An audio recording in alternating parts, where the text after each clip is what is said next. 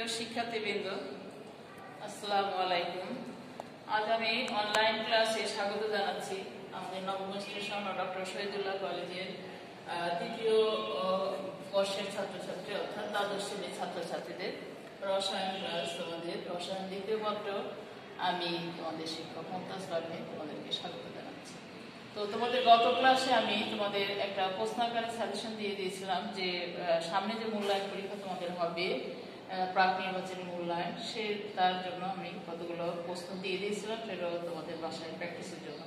আজকে সেটা থেকেই আমি তোমাদের একটু কতগুলি প্রশ্ন আমি সলভ করে দিতে যাচ্ছি।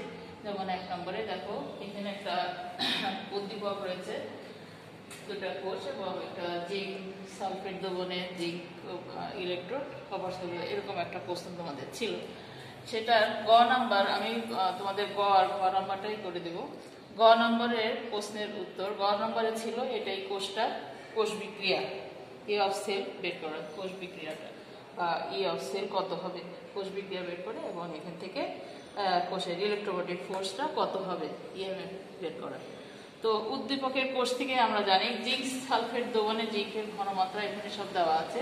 জিঙ্ক সালফেট দ্রবণে জিঙ্কের ঘনমাত্রা হচ্ছে পয়েন্ট ফাইভ মোলার আর কপার সালফেটের কপার আয়নের ঘনমাত্রা এখানে দেওয়া আছে হচ্ছে পয়েন্ট টু ফাইভ মোলার তাহলে জিঙ্ক জিঙ্ক সালফেট আয়নের ইলেকট্রোমোটিভ এখানে তোমার ইয়ে দেওয়া আছে কত volt point seven six volt বা একটাকে যদি জারণ বিভব যদি এটা হয়, বিজারণ বিভব ঠিক তার উল্টাটা হবে minus zero point seven six এখানে দেওয়া আছে। জিঙ্কের জন্য এটা দেওয়া আছে, জারণ বিভব। তাহলে বিজারণ বিভব হবে, তো এর ঠিক তার উল্টাটা। মাইনাস চিহ্ন। মানে ওই ওই সংখ্যাটাই হবে, চিহ্নটা মাইনাস হবে। আর কপারের দেওয়া আছে, কপারের কপারের এখানে দেওয়া আছে, বিতরণ বিয়োগ হচ্ছে point three four point zero point three four volt এখন অ্যানোডের অর্ধকোষ বিক্রিয়া। অ্যানোডে কি হচ্ছে? অ্যানোড জিঙ্ক ইলেকট্রন ত্যাগ করছে, সেই ইলেকট্রনটাই এখানে এসে কপার আবার গ্রহণ করছে কপার আয়ন সেই ইলেকট্রনটা গ্রহণ করে কপার পরমাণুতে পরিণত হচ্ছে। এখন এখানে দেখো, অ্যানোডের অর্ধকোষ বিক্রিয়া কি হবে? জিঙ্ক, দুটো ইলেকট্রন ছেড়ে দিয়ে জিঙ্ক টু প্লাস আয়ন হচ্ছে। আর ক্যাথোড অর্ধকোষে সেই দুটো ইলেকট্রনই কিন্তু কপার আয়ন গ্রহণ করছে এবং কপার পরিণতে পরিণত হচ্ছে। এবং কোষ বিক্রিয়া টোটাল কোষ বিক্রিয়া কি হবে? Zinc plus copper two plus ion এদিকে দেখো, zinc plus copper two plus ion আর এদিকে আবার হয়ে যাচ্ছে zinc two plus plus copper এই কপারটাই ক্যাথোডে জমা হচ্ছে। এখানে তাহলে মোল সংখ্যা কত? এক এক মোল বিক্রিয়া হচ্ছে, তাহলে মোল সংখ্যা এখানে হচ্ছে এন হচ্ছে টু মোলার গ্যাস ধ্রুবক, আমরা এখানে জানি মোলার গ্যাস ধ্রুবক এখানে যেটা হবে সেটা হচ্ছে এইট পয়েন্ট মোলার গ্যাস ধ্রুবক আর সমান eight point three one six joule per calorie per mole আর তো এখানে তাপমাত্রা টি দেওয়া আছে? টোয়েন্টি ফাইভ ডিগ্রি সেলসিয়াস তাপমাত্রা টি কে আমরা সব জানি? যে আমরা কি করে নিতে হবে আমাদের কেলভিন স্কেলে নিতে হবে। তাহলে দুইশো তিয়াত্তর যোগ করলে টু নাইনটি এইট হ্যাঁ দুইশো আটানব্বই কেলভিন তো আমরা জানি ই অফ সেল সেলের কোনো একটা সেলের ইলেকট্রোমোটিভ ফোর্স সেটা কি হবে? ই কপার টু প্লাস এই এইটার ক্ষেত্রে E copper two plus copper minus E of zinc two plus তার মানে plus two point three zero three R T divided by N F into log of copper ion concentration divided by zinc ion concentration তাহলে E of copper two plus copper এটা হচ্ছে point three four আমার ভোল্টটা তো দেওয়াই আছে। Minus zinc two plus zinc এটা হচ্ছে আমরা বের করে নিলাম। এটা ছিল হচ্ছে তোমার জিঙ্ক জিঙ্ক টু প্লাস হচ্ছে পয়েন্ট সেভেন সিক্স ভোল্ট ছিল, সেটাকে যদি আমার জিঙ্ক টু প্লাস জিঙ্ক তাহলে হয়, তাহলে এটা বিদন হয়ে এটা হচ্ছে মাইনাস তখন হয়ে যাবে। ঠিক একই সংখ্যা থাকবে, এটা হবে মাইনাস হ্যাঁ? তো এখন এইখানে আমরা বসিয়ে দিলাম, এখানে বসে মাইনাস এত। তাহলে এই দুটা এ করে এখন হচ্ছে two point three zero three into R R এর মান আমরা বসালাম eight point three one six into T এর মান আমরা বসলাম টু নাইনটি আর নিচে টু ইন্টু এফ এফ কত? কত? Ninety six ninety six five zero zero অর্থাৎ ছিয়ানব্বই হাজার পাঁচশো। হ্যাঁ ফ্যারাডে এখন এটা ইয়ে আর লগ অফ এটা আমরা শুধু এর কপারের কপার টু প্লাসের আছে হচ্ছে কত? কপার টু প্লাসের জন্য আছে পয়েন্ট টু ফাইভ আর molar R concentration of zinc two plus হচ্ছে পয়েন্ট ফাইভ মোলার এই দুটো আমরা বসিয়ে দিলাম, দিয়ে এগুলো ক্যালকুলেট করলে আমাদের আসলো one point zero nine one volt এত ভোল্ট হচ্ছে এর সেলের ইলেকট্রোমেটিক ফোর্স এই সেলটার জন্য। ঠিক আছে? সবই দেওয়া আছে, শুধু এই ফর্মুলায় সোজা বসিয়ে দিবে, দিয়ে এটা কিন্তু ক্যালকুলেট করবে। এখন চলে আসো ঘ নম্বর প্রশ্নে। এখানে ছিল উদ্দীপকের কোষ্ঠী থেকে দীর্ঘ সময় তড়িৎ উৎপাদনের ক্ষেত্রে কোনো প্রতিবন্ধকতা সৃষ্টি হবে কি না? উদ্দীপকের কোষ্ঠী থেকে প্রতিবন্ধকতা আমরা এখানে প্রতিবন্ধকতা সৃষ্টি হবে। কেননা এখানে অ্যানোড অর্থকোষ বিক্রিয়া আমরা দেখছি।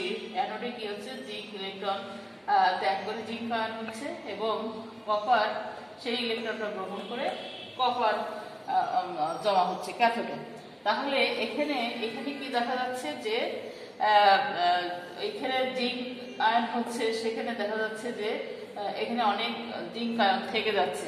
ইলেকট্রনটা চলে যাচ্ছে, কিন্তু অনেকগুলো ধনাত্মক আয়ন থেকে যাচ্ছে অ্যানোডে। কিন্তু ক্যাথোডে গিয়ে, এখানে গিয়ে আবার দেখা যাচ্ছে কপার ক্যাথোডে জমা হচ্ছে, সেখানে দেখা যাচ্ছে ঋণাত্মক আয়ন হিসেবে সালফেট, যেহেতু কপার সালফেট দেবো, অনেক ঋণাত্মক আয়ন, কপার সালফেট কিন্তু জমা হচ্ছে।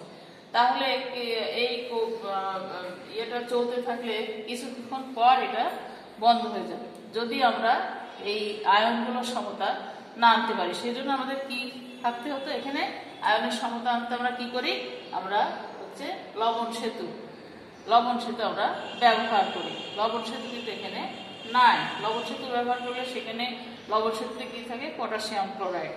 পটাশিয়াম ক্লোরাইড যদি থাকে, তাহলে সেখানে যেখানে আমাদের সালফেট আয়নের অধিক বা ঋণাত্মক আয়ন বেশি আছে সেখানে, ধনাত্মক আয়ন যে তার সমতা রক্ষা করে, কারণ কোনো আয়ন একা থাকতে পারে না। সেজন্য সেখানে ধনাত্মক আয়ন চলে যায়, পটাশিয়াম, আর যেখানে আছে ঋণাত্মক আয়ন বেশি থেকে যায়, সেখানে ধনাত্মক আয়ন বেশি থেকে যায়, সেখানে আবার চলে যায় ঋণাত্মক আয়ন, ক্লোরাইড যেহেতু অ্যানোডে থেকে যাবে জিঙ্ক আয়ন বেশি থাকে, সেখানে ক্লোরাইড আয়নটা চলে যায়, আর যেখানে সালফেট আয়ন বা ঋণাত্মক আয়ন আছে ক্যাথোডে এখানে আবার চলে আসে, ক্যাথোড পাত্রে সেখানে চলে আসে তোমার পটাশিয়াম আয়নটা। এইভাবে আয়নের সমতা রক্ষা করলে আবার কোষ বিক্রিয়াটা চলতে থাকবে। যেহেতু এখানে আমাদের লবণ সেতু নাই, তাহলে কিছুক্ষণ চলার পর এটা বন্ধ হয়ে যাবে, আর চলবে না, অর্থাৎ প্রতিবন্ধকতা সৃষ্টি হবে।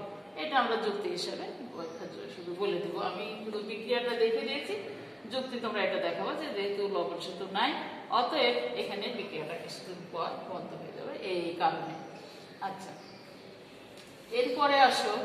দুই নম্বরে আরেকটা তোমাদের উদ্দীপক দেখো, এরকম একটা উদ্দীপক ছিল তোমাদের যে একটা অ্যালুমিনিয়াম পাত্রের মধ্যে ম্যাঙ্গানিজ সালফেট আছে। এখন এখানে দেওয়া আছে ম্যাঙ্গানিজ ম্যাঙ্গানিজ টু প্লাস, এটা হচ্ছে one point one eight volt এবং এখানে অ্যালুমিনিয়ামের যে ইয়ে এটা জন্য ইলেকট্রনিক কোড দেওয়া আছে হচ্ছে one point six six volt এখন কোন কোষে এটা, এটাকে এখন বলা হচ্ছে যে এটার বিক্রিয়া, কোষ বিক্রিয়াটা চাওয়া হয়েছে গ নম্বরে।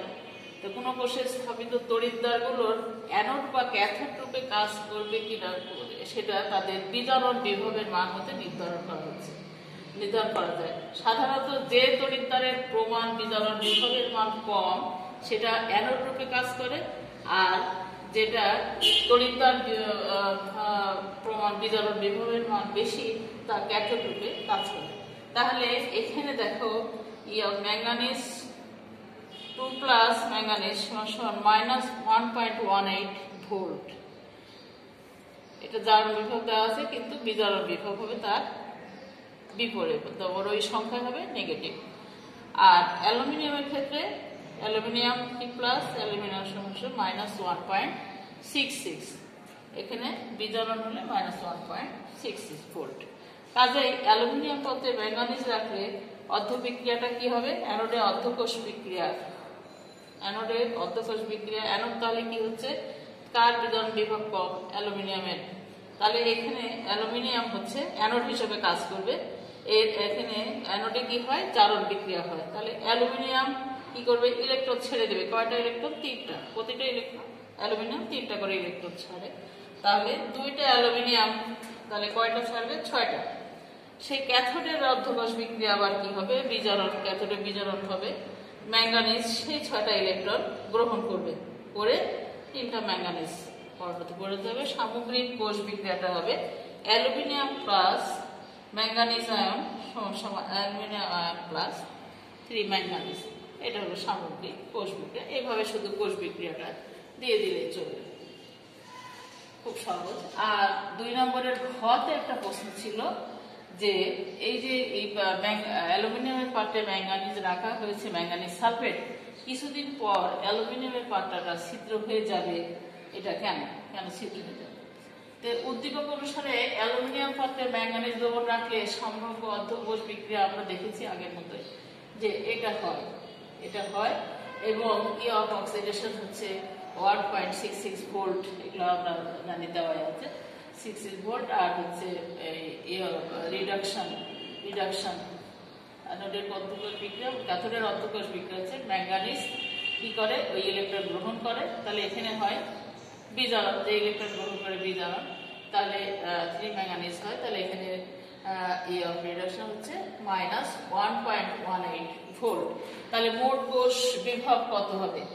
মোট কোষ বিভব, পুরো কোষটার বিভব হচ্ছে ইএমএফ অফ সেল হবে।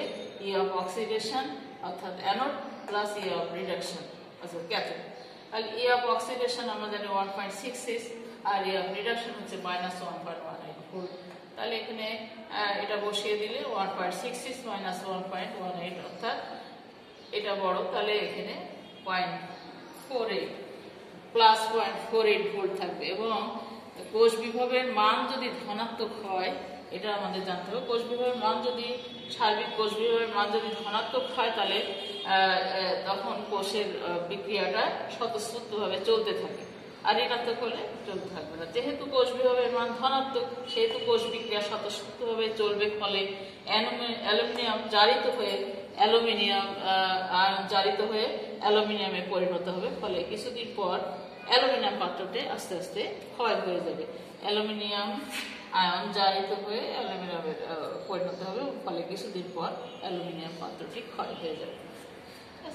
এই ছিল আমাদের এই দুটি প্রশ্নের উত্তর। তোমরা তাহলে এভাবে পড়ে ফেলবে এবং সামনের দিন আমি আবারও দেখি তোমাদের আরও কিছু প্রশ্নের উত্তর করে দিতে পারি কিনা।